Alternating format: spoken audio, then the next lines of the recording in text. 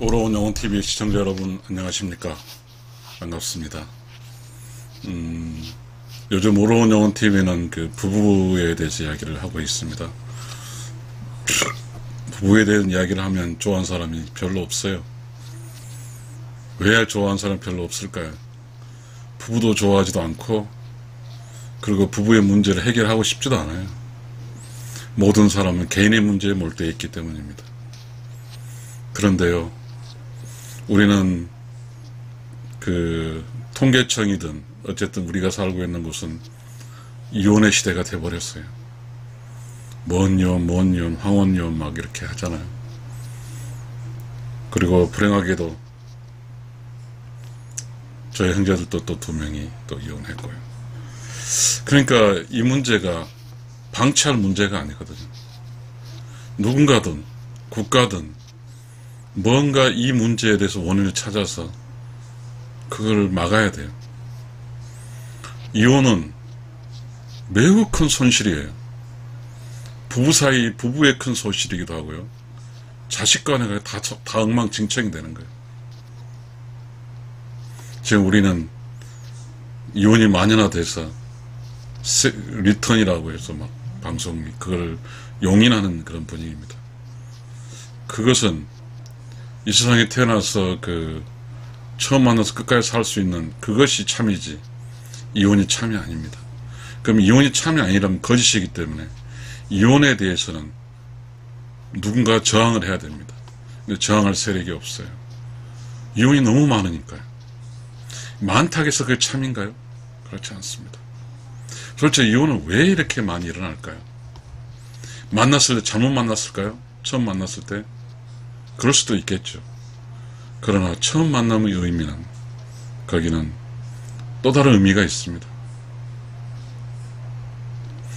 처음 만나는 의미는 혹시 종교적인 경우라든지 어디 연애이라든지 그런 뭔가 특수성에서 만나는 것은 조금은 이해가 되겠지만 이름 없는 한 인간이 만났을 때 그 만남은 그 한 만남에 의해서 만나진 게 아니라 어떠한 거대한 어떤 우주적 질서에 의해서 만나야 될 사람 만난 자를 만나게 할 겁니다. 이 세상 우연이라는 건 절대 없어요. 여러분 살아봤잖아요. 저 61살인데요. 이 세상의 삶은 단 한 가지 우연이, 우연이란 게 없습니다. 그 일을 할 사람이 하고, 그, 일, 그 일에 맞을 사람은 적임자가 하는 겁니다. 적임자가 하지 않으면 절대적으로 그인 돌아가지 않습니다. 부부의 적임자가 반드시 있습니다. 우리는 그걸 천생연분이라고 그렇습니다. 그렇다 보면 우주가 처음 만나게 할 때 적임자가 아닌 사람 만나게 하진 않을 겁니다. 자연은 let it be 그대로입니다. 자연의 흐름은 그 자체가 참입니다. 그렇기 때문에 처음 만남은 자연이기 때문에 참이에요. 이 참이 가다가 어떤 이유로든지 중단이 되면 참이 멈추고 다시 거짓으로 바뀌는 겁니다. 시청자 여러분, 우리 그 저기 어, 남북 전쟁이라고 있, 는가요 아무튼 어쨌든 그 미국의 독립 전쟁이라고 있죠. 흑인과 백인의 평등이라는 그런 문제로 시작된 전쟁 아닙니까? 이게 백인 입장에서는 흑인과 백인이 평등이라는 것에 대해서 우월권을 가지고 있기 때문에 불만 없었죠. 흑인 입장은 불만이죠. 그냥 흑인은 평등을 위해 싸웠죠. 평등을 이뤘습니다. 그리고 전쟁을 통해서 평등이라는 이 단어 하나로 전쟁을 해서 사람이 수만 명 죽으면서 그 평등이 이뤄냈어요. 평등이 이뤄냈다고 또 완벽한 평등이 되는 겁니까? 않습니다. 평등이라는 단어는 매우 강한 이데, 이데올로기적, 정치적 이데, 이데올로기적인 단어입니다. 이 단어는 매우 파괴력을 가지고 있습니다. 불평등을 평등하게 해야 되기 때문입니다. 자, 대표적인 불평등은 뭐냐면요. 불평등이 아니라 자연입니다. 힘이 센 사람과 힘이 약한 사람은 왼손과 오른손은 대표적인 불평, 불평등입니다. 오른손하고 왼손이 같을 수가 없어요. 만약 같으면 왼쪽 왼쪽 힘없는 쪽 같을까요? 아니면 힘 있는 쪽 같을까요? 혹시 두 개 다힘 있으면 어떻게 되죠? 다 이유가 있겠습니다. 힘 있는 오른쪽과 물론 오른손잡이 말합니다. 힘 있는 오른쪽과 힘, 있는 왼, 힘 없는 왼쪽이 차이가 뭘까요? 힘이 없는 것은 중심을 잡아줘 오른쪽 힘을 쓰는 거 아니겠어요? 결국은 자연이라는 것은 그 먹이 체, 체인도 있습니다. 호랑이가 사자가 뭐 이렇게 이렇게 잡아가는 거죠. 잘은 모르겠지만 그렇게 해서 이 우주의 질서가 돌아가는 것 같습니다. 결국은 이 평등이라는 단어는 자연의 이치에 맞지 않습니다. 자연의 이치는 조화롭지 평등하지는 않습니다. 왼손과 오른손이 똑같을 수는 없어요. 매우 중요한 이야기입니다. 그러나 인간이 어떤 지혜로움과 어떤 삶의 어떤 과정을 통해서 얻어낸 정치적이든 전쟁을 통해 얻어낸 평등이 있습니다. 그 평등은 종족적 평등, 그러니까 백인도 평등이고 남자와 여자도 평등입니다. 우리가 오래전에는 투표권이 남자에 있고 귀족 중심으로 있었습니다. 종도 투표할 수 없었고 여자 투표할 수 없었습니다. 유럽 역사입니다. 그런데 지금 유럽든 어든 남녀, 종 모든 인간 다 평등할 수, 투표할 수, 투표권을 가지고 이게 평등권입니다. 세금도 평등권이고요. 그리고 뭐죠? 직장에서 월급 받는 것도 평등입니다. 남자로 여자 차이 월급 차이가 우리도 한 10년, 20년 있었습니다. 그러나 지금은 남녀 월급 차이가 없습니다. 이게 평등입니다. 권리와 의무적 요소에는 평등이 존재합니다. 그러나 자연의 이치, 암흑과 숲곳의 이치에서 그곳에 평등 개념 논리를 한다면 무엇으로 평등합니까? 평등이라는 건 똑같다는 거잖아요. 평범하고 똑같은 거잖아요. 그럼 남자, 여자, 암흑과 숲곳이 똑같아야 되는 것인지 우리는 이 문제에 직면해 있습니다. 왜 이야기를 이렇게 길게 할까요? 우리는 이 평등이라는 것은 사회가 어떤 어떤 사회적인 어떤 그 어떤 어그리먼트죠. 동의를 얻는 게 평등입니다. 법적 평등이죠. 법 앞에는 모두가 평등합니다. 법과 제도 이거는 다 인간이 만드는 평등이에요. 동물 사이는 없어요. 자, 그래서 우리는 모든 그 교육 시스템에 다 평등을 배워왔습니다. 싹. 그러면서 우리는 이 평등이란 이데, 이데에 오르기 때문에 그 교과 과정도 가정이 기술 뭐 잘 모르겠습니다만은 그, 그것이 애매모호하게 가고 그런 어떤 남녀 평등에 입에 되는 것은 하지 않습니다. 또 양성 평등에 입에 되는 거 하지 않습니다. 다 맞습니다. 과연 이것이 부부 사이에 맞을까요? 부부, 부부 사이에서 평등을 이야기합니다. 끊임없이 평등이야.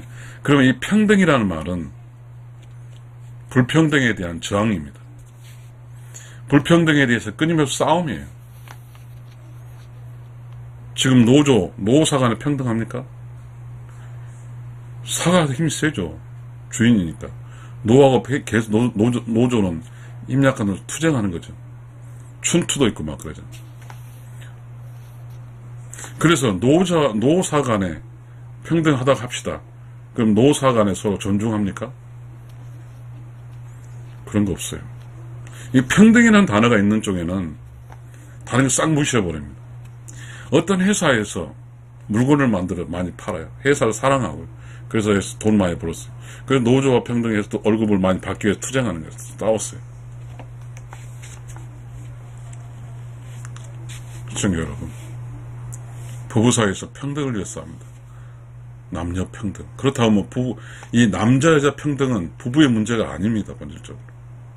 근데 부부에게 있어서 여자 남자가 부부가 됩니다. 여기서 평등이라는 이론을 갖고 있는 어떤 세, 어떤 이데올로기에 있는 사람은 평등하지 않는 것에 대해서 늘 불만족스럽습니다. 그래서 평등하지 않다고 해서 평등하기 위해서 평등에 대한 그런 것이 너무 많이 이대로 자리 잡기 때문에 다른 거에 다 묻혀버립니다. 부부 단위가 평등론이 평등이라는 키워드가 더 높아야 될까요? 아니면 사랑과 정과 이런 게 높아야 될까요? 존중과 조선시대는 이 평등이라는 사상이 없었습니다. 그럼 평등이라는 사상 없었으면 평등하지 않기 때문에 다 망가졌을까요? 조선시대는 음양의 조화라는 사상이 있었습니다. 유교 사상이 음양의 조화 사상입니다. 주역이 음양의 조화 사상이잖아요. 그래서 난 조선시대 이야기를 하는 수밖에 없습니다. 조선시대 양반가에 가보면 안방과 사랑방이 있습니다. 사랑방의 주인은 남자예요. 안방의 주인 여자예요. 안방, 사랑방의 주인과 안방의 주인이 사회적이든 동물적이든 같은가요? 사랑방의 주인은 그 방이 꾸며지는 거죠. 누굴 위해 꾸미죠? 자기가, 자기가 사랑하는 사람. 그리고 자기가 사, 그 의미 살기에 적, 적합, 적합하게 꾸며내는 거죠. 그래서 사랑방은 안방은 음이 적합, 음이 살기에 적합한 것.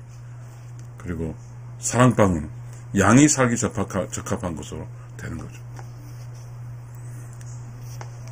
부부는 음과 양이잖아. 음과 양이 어떻게 같습니까? 틀려요. 음은 시원하잖아요. 양은 따뜻해요.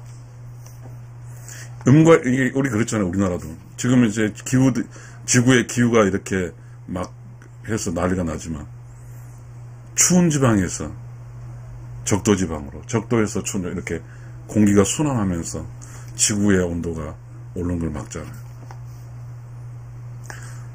부부는 음, 음과 양이 있어. 음의 그 기운과 양의 기운이 서로 순환하면서 그렇게 음과 양이 중립적인 어떤 기분 살기 기분 좋은 것이 만들어내는 것이 부부거든요.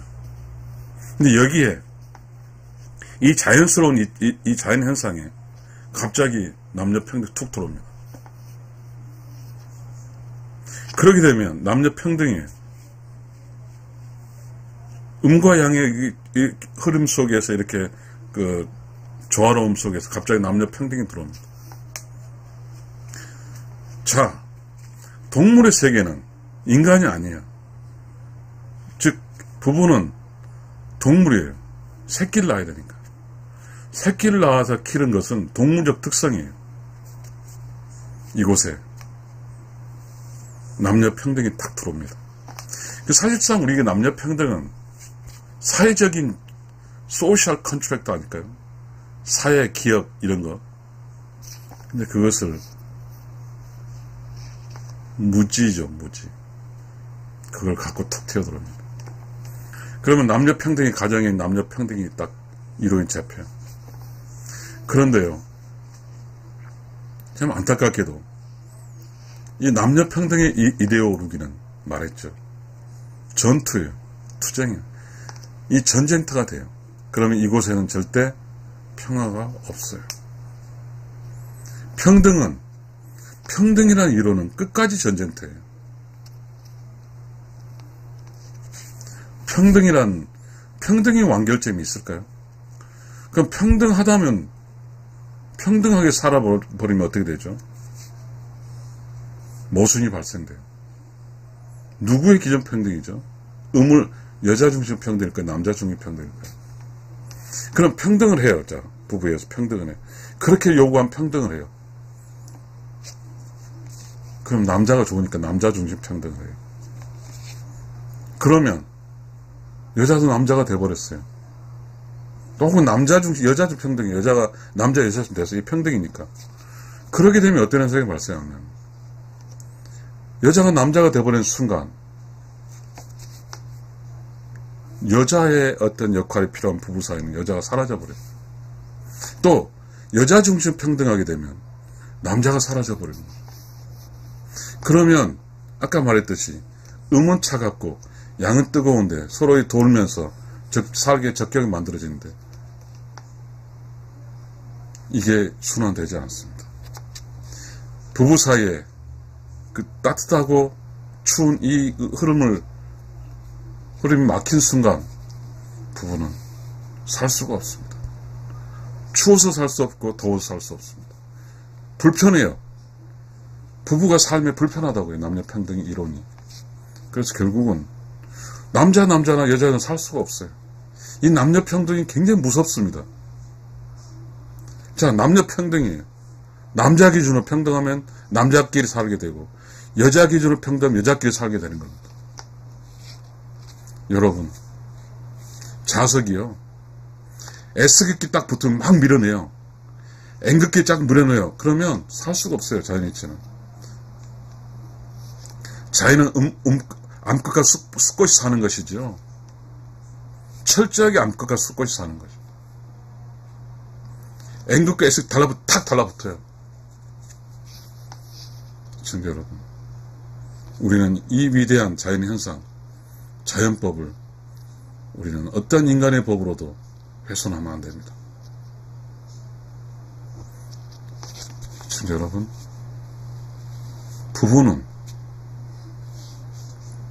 부부는 다 이 이생에 태어나면서 만났을 때 서로 사랑하고 존경하고 서로 애끼고 하는 기본적인 자연의 이치적으로 만납니다. 우로운 영혼의 세상에서 창조주가 영혼을 창조하고 음양의 조화를 설명한 후에 너는 음으로 살래 양으로 살래 할 때 그 선택을 음을 선택하면 양을 전제해주고 양을 음을 선제해줍니다. 그러면 이 선택할 때 알게 되는 거예요. 음을 선택하게 되면 여자가 되고 양을 선택하면 남자가 되는 거예요. 그러면 그걸 자기가 선택을 했잖아요. 남자 여자로 살겠다고. 그러면 의로운 영혼의 세상에서 양을 음을 선택한 사람은 양을 사, 사랑하기 위해서 알고 있었잖아요. 양을 음을 선택한 사람 사, 음을 사랑 알고 있었어요. 그러니까 부부는 이미 자신이 음으로 양으로 태어난 것을 스스로 자기가 판단 선택해서 왔어요. 그럼 선택한 그걸로 선택한 그 역할을 해야 돼요. 자기가 의로운 영혼에서 음을 선택했으면 음의 역할을 하고 음자를 지켜야 되고 양을 선택하면 양의 역할에서 양자를 지켜야 돼요. 부부는 그래요. 조선시대에는 남성 중심의 사회였어요. 유교 사회. 지금은 여성 상위 시대예요. 남성 중심이라는 단어와 상위는 달라요. 중심은 상위가 아니에요. 남성, 남성이라는 어떤 제도로 해서 어떠한 그 흐름을 족보도 있고 그 뭐죠 성씨 이렇게 흘러가는 것이죠. 지금은 여성 상위 시대니까 이혼도 하고 뭐 하면서 여자 혼자 여자성으로 싸워 자식 이름 닫고 막 그렇게 다 법적으로는 만들어졌잖아요.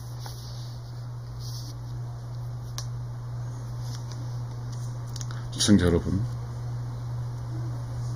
이 인생, 이 인생이 태어나서 우리 부부의 본질은 서로 사랑하며 사랑받고 서로 애끼고 사랑하는 이게 부부의 본질이지. 부부가 만나서 남자에서 똑같다고 이 전투를 하는 본질이 아닙니다. 이게 이데로, 이데오로기입니다. 남녀 평등은 매우 무서운 이데, 이데오로기예요. 조선시대는 남성 중심 사회였어. 그리고 남성 중심 사회에서 여자도 살고 함께 살았어. 그때 남성 중심 사세, 사세인 조선시대는 음양의 조화라는 그러한 어떠한 음과 양의 차가운 음적 요소와 따뜻한 양적 요소, 따뜻한 양이 음적 요소는 기류의 흐름을 조선시대는 했어요.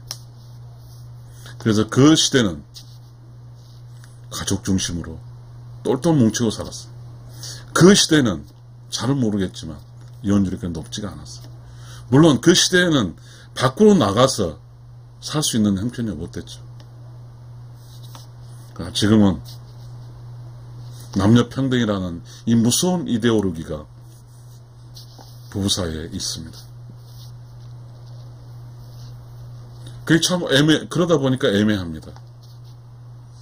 자, 맞벌이 부부가 남자 여자나 같이 일하고 돈도 월급 똑같아요. 우리 여자 얼굴 많아요. 집에 와서 일을 하기 때문에 매우 불만족스러워요.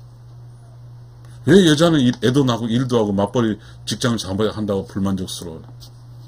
이렇게 된 순간은 그러면 남녀 평등에다가 월급도 많이 받는 데다가 애도 낳는 데다가 밥도 살려 하니까 이 문제는 이게 복잡해집니다. 그러니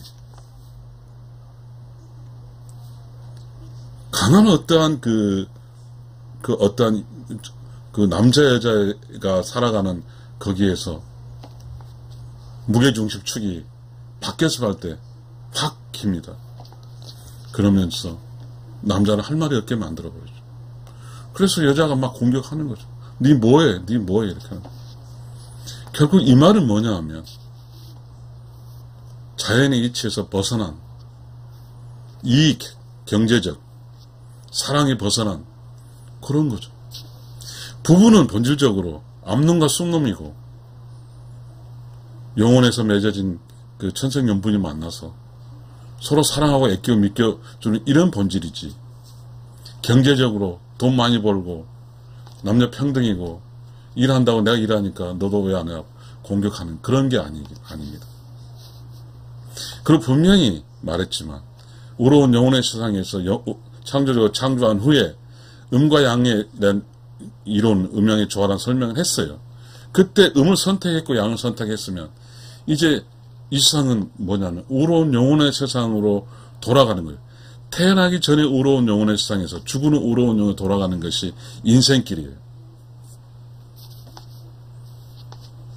부부는 음과 양이 만나면 영이에요. 그렇잖아요. 절대주 절대치 50대 50 플러스 마이너스 0이 이000 부분은 이 사는 족적이 돌아가기 전에 의로운 영혼의 세상도 0이고 돌아가는 죽은 세상 0이에요. 이 거대한 세상 속으로 들어가는 거죠. 이 여행의 길이 오빗이라고 그래요. 궤도. 이 오빗이 00000 연결된 것이죠. 그게 남자 여자가 부부가 이렇게 만나서 영을 만드는 거죠. 이곳에는 자연이지 우주 질서지 인간이 만든 어떤 남녀 평등 이론이 적용되는 남녀 평등 어떤 이데올리가 적용되는 것이 아닙니다. 시청자 여러분 잘 보세요. 깨달은 부분은 많이 배운 부분은 멋지게 삽니다. 깨달았다고 하는 것은 많이 배운 부분은 그곳에 절대로 남녀 평등이 존재하지 않습니다. 평등하다는 것은요, 그것이 안전하다고 할지 모르지만, 조화롭다고 하는 것은요, 서로가 무게추가 달라도 조화롭게 살아가는 것이에요.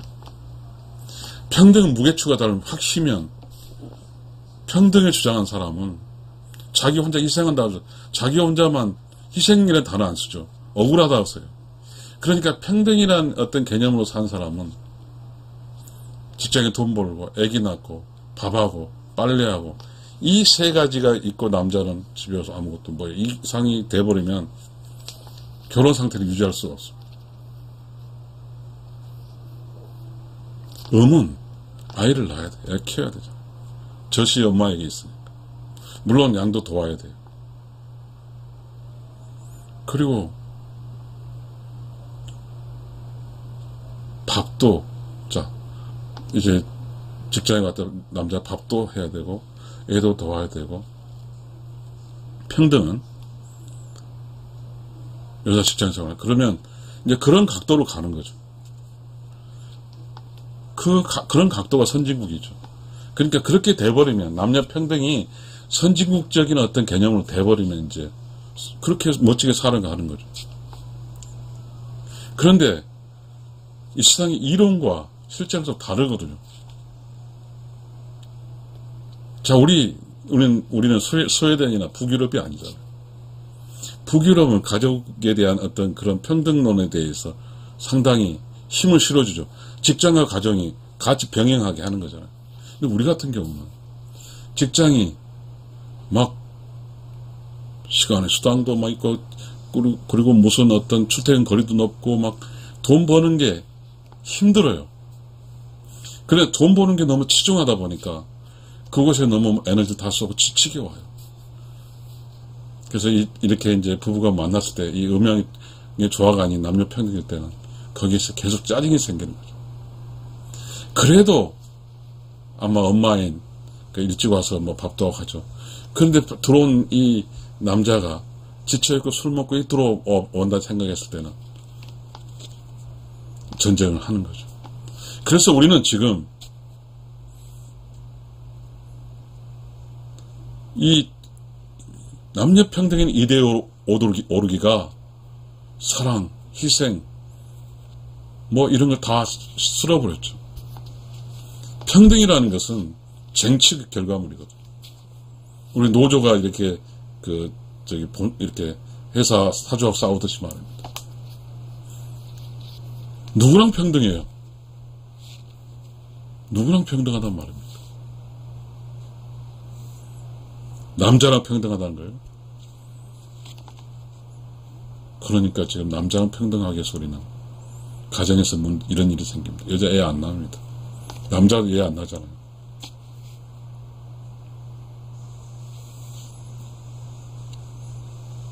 자연의치가 아닙니다. 자연의치가 조선시대는 여자가 빨래하고 밥하고 그리고 밭에 가서 일하고 그리고 아이 낳고 키우고 그리고 그 가족이란 큰 흐름 속에서 그 남성 중심의 어떤 사람들로 존경도 받고 형수님, 제수님, 제수자면서 서로 그리고 시대를 중심으로 열심히 잘 살았죠. 거기서 여자가 불만이 어디 있습니까? 자, 지금 우리가 우리가 우리가 살고 있는 이 시간대 문제는 부부 사이의 존경이라는 단어가 사라져 버렸습니다. 부부 사이의 존경이라는 이 조, 경자란 말이요. 이황의 그 어떤 깨달음의 단어입니다. 조선시대 유교는요, 인이 아니에요. 인이, 인이처럼 느끼죠. 경이에요, 경. 경은 예를 기반으로 하는 거죠. 서로 사람과 사람 만나서 인사하고, 서로, 뭐죠? 서로에게 편하게 해주는 것이 경이거든요. 근데 지금은, 지금 우리가 이 살아갈 때, 부부끼리 만나, 처음 만나도, 모르는 사람끼리 만나도 아파트에 엘리베이터 만 나도 다 그냥 무시. 부부도 무시하고. 직장의 상사와 부하직원도 만나. 제가 현직에 있을 때 구, 구정체인데 구정 다음에 오면 새고 오면 요즘 잘 실수하는 게 많은데 그런 거 없어요? 요즘 없더라고 이게 뭔 세상인지 모르, 모르, 모르겠습니다. 자 어떤 잣대의 기준이 그, 그 어떤 잣대를 기준, 적절한 기준을 될수 있어야지 잘못된 그 기준을 다른 데 제하면 그것은 참 힘들었습니다. 부부는, 부부의 잣대는 사랑하고, 용서하고, 이해하고, 희생하고, 서로 애껴주고, 이것이 부부의 메인 키워드지. 평등하게, 평등을 위해서 싸우는 것이 부부의 그것이 아니거든요. 분명히 말하지만 평등을, 남녀 평등이라는 걸 하는 것은 전쟁터입니다. 평등이라는 단어를 쓴다는 것은요, 불평등을 해소한다는 뜻이거든요. 지금 계속해서 이 남녀 평등을 중심으로 해서 TV에 양성 평등, 성희롱 방지법 이런 걸 합니다. 그것을 매우 큰 사회적 이슈로 합니다. 그 남녀 평등이 양성 평등이란 법이 생기면서 양성 평등이죠. 남녀 평등보다 양성을 했나요? 그럼 양성 평등이라는 것이 사회적 법이 있어요. 그러면서 어떤 일이 있냐면 직장에는 양성이 있잖아요. 평등해. 그래서 어떤 공식 행사 이런 게 할 때도 평등하니까 혹시 평등론에 평등론 입에대 혹시 입에 될까 봐서 그 남자가 다 준비합니다. 아예 그냥 양성 평등하니까 어디로 평등하라는 뜻은 잘 모르겠어요. 여자로 평 여자로 평등한 거죠 남자가. 양성 평등해서 여자가 해줘야 맞는 것에 대해서 양성 평등하니까 남자가 여자가 되는 거죠. 그리고 양성 평등이니까 군대도 또 여자가 가는 거죠. 이게 자연의 이치일까요? 전투에서 죽고 싸우는 것이 과연 여자가 가서 해야 될까요? 저는 그런 어떤 사회적 이야기는 하고 싶지 않습니다. 양성평등이 부부에서 절대 적용되면 안 됩니다. 부부는 암놈과 쑥놈이지 어떻게 암놈 암놈 쑥놈 쑥놈 삽니까? 이 논리 자체가 맞질 않아요. 어떻게 남자가 여자가 되고 여자가 남자가 됩니까? 우리는 이런 이상한 이데어 오르기가 부부 사이에 있습니다. 이 이데올로기 있으면 부부는 계속 이혼할 것이고 이 이데올로기 있으면 남자랑 똑같다고 주장하는 여자는 애를 안 낳을 것이고 이건 자연의 이치가 아닙니다. 이렇게 되면 이 부부 속에는 음과 양이 음은 차갑고 양은 따뜻해서 선순환하면서 오는 그 쾌적한 부부가 아닌 순환이 무너지면서 차갑든지 뜨겁든지 하는 그럼 남성적으로 똑같아서 더, 더워서 어떻게 싸고 헤어질 것입니다. 여성적으로 똑같으면 추워서 어떻게 헤어질 겁니다. as conclusion 결론을 한번 지어보겠습니다. 부부는 본질적으로 암놈 순놈이에요. 그러니까 평등하지 않아요. 어떻게 남자가 여자 됩니까? 여자는 애도 낳아야 되고 애를 키워 젖도 있어요. 남자 젖도 없고 애도 못 나잖아요. 이게 어떻게 평등입니까? 좋아하지. 음양의 이 세상에, 이 세상의 모든 삼남 만상은 음과 양이 있어 조화로운 것이지 남녀 평등하지는 않습니다. 그러니까 남녀 평등이란 이 이데, 이데 오르기가 부부 사이에 들어오면 안 되는 거예요. 이건 오염입니다. 매우 슬픈 것은 깨달은 사람은 알아요. 순놈 안놈이고 애 낳아 키우고 이쪽에는 깨달은 사람은 남녀평등이 사기라는 거 알아요. 그래서 아내가 남편에게 맛있는 밥과 그걸 말 한마디라도 공손하게 해줘요. 그럼 남편이 힘을 얻어서 선순환이죠. 부부의 선순환. 밖에는 열심히 일하고 와서 함께 이렇게 서로 사랑하고 그렇게 하는 거죠. 그리고 좀 집에 와서 남편이 좀, 좀 쉰다는 거에서 그렇게 억울합니까?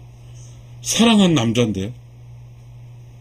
그러면 이 사랑한 남자가 밖에서 힘들게 일하고 누구한테 이뤄봤습니까? 그래서 부, 부부 사이는요, 남녀 평등이 아니라요. 주인과 손님입니다.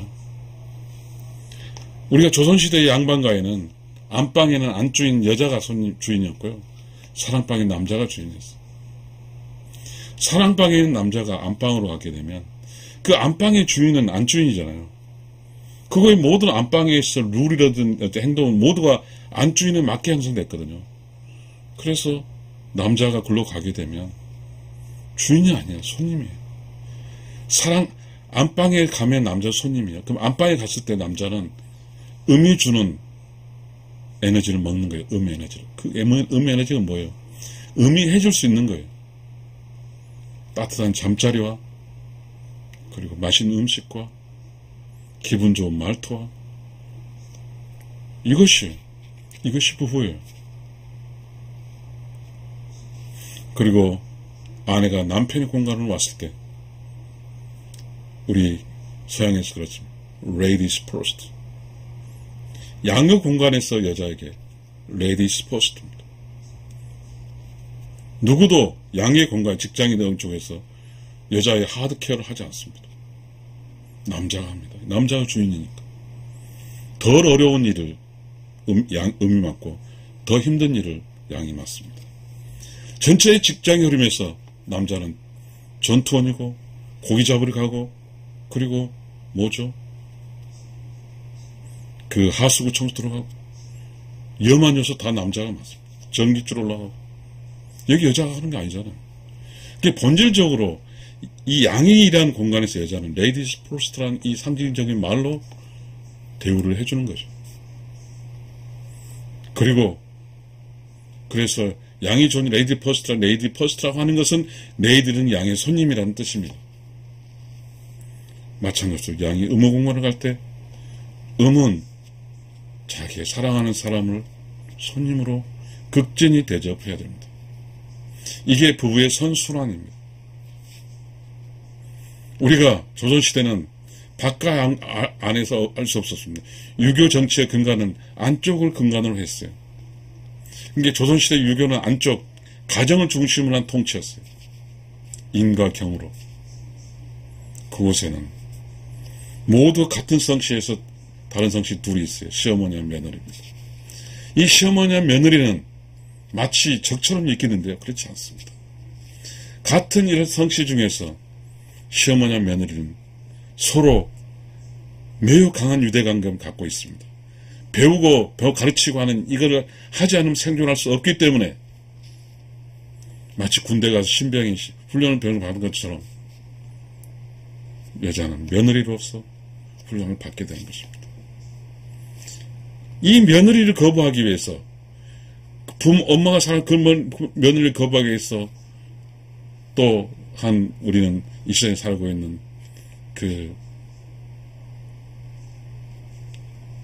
한쪽은 다른 한쪽을 또 그렇게 할 수 있겠습니다. 시청자 여러분, 부부는 자연 이치에 따라 살아야 가는 것입니다. 처음 만나는 것이 실수가 아니에요. 제가 말하는 처음 만나는 것이 연애이라든지 종교 어떤 그 한도에 있는 게 아니라 아주 자연스러운 어떤 만남은 다 우주가 계획을 합니다. 만나야 될 사람이 만나는 거예요. 이 만나야 될 사람을 만나서 끝까지 살아서 죽을 때 같이 사는 거예요. 이게 천생연분입니다. 모든 자연스럽게 만난 건다 천생연분이에요. 어떻게 이, 이세 함부로 애 낳고 살아가는데 우연히 만납니까? 그건 있을 턱이 없습니다. 이 세상에 처음 만나서 끝까지 가야 하는 것이 인생길입니다.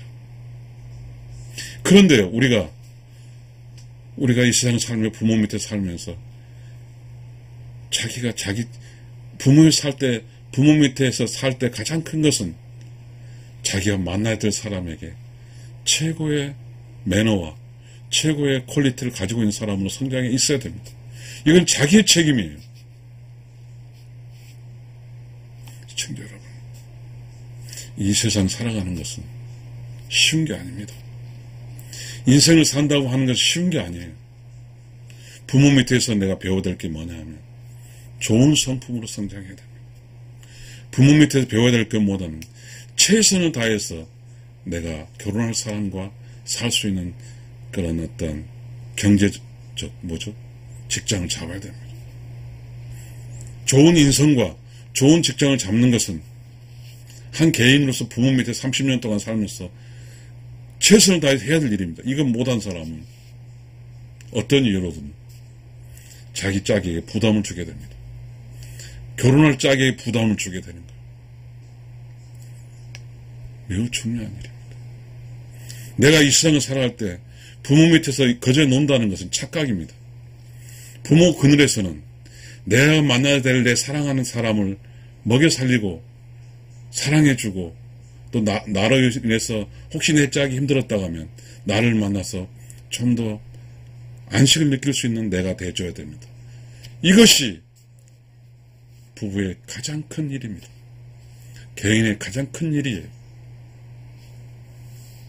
시청자 여러분, 지금 우리는 함부로 사는 게 아니에요.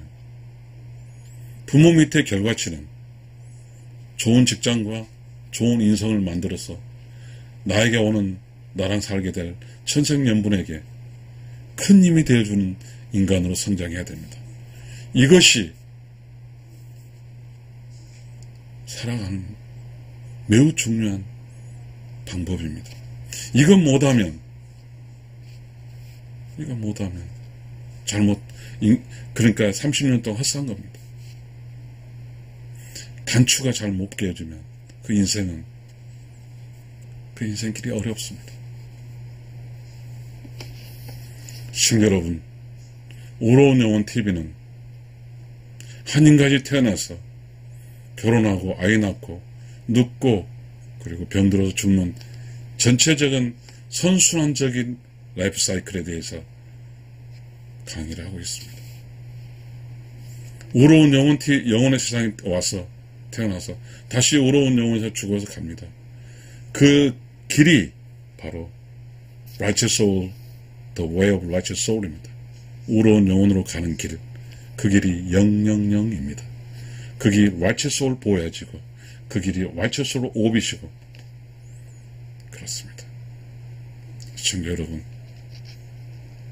이 인생 어, 끝까지 삶을 살 수 있는 우로운 영혼의 길을 걸어서 다시 우로운 영혼에 도착하게 되면 이 세상에서 음과 양이 만나서 함께 영 대, 브로스 마치 영이 돼서 둘이 도착하게 되면 그곳에서 혹시 그 뭐, 뭐라고 하면 안 되니까 자기 인생에 뿌리는 씨앗의 후손들의 신이 될 겁니다. 유교는 제사를 지는 게 그 하나의 본질이죠. 신이 되는 거죠. 이 신은 자기 후손들을 지켜주는 겁니다. 자기 후손이 시험을 보거나 승진하거나 건강 문제든 이 모든 걸 지켜, 지켜주는 거예요. 매우 중요합니다. 이 세상 함부로 살게 되면 우로운 영혼의 계도 이탈하게 됩니다. 그렇게 되면 우로운 영혼 세계를 갈 수가 없습니다. 그렇게 되면 죽어서 아무나 힘을 발휘할 수 없습니다. 신이 될 수 없으니까요. 시청자 여러분, 우로운 영혼 TV는 한 사람 한 사람이 올바르게 살아서 우로운 영혼의 세상에서 와서 다시 우로운 영혼에 돌아가는 그러한 돕기한 그런 방송을 하고 있습니다. 시청자 여러분이 이 방송을 드, 들고 구독과 좋아요 눌러주시면 이 방송은 더 힘이 있고 더 든실하게 유지가 될 것입니다. 시청자 여러분 감사합니다.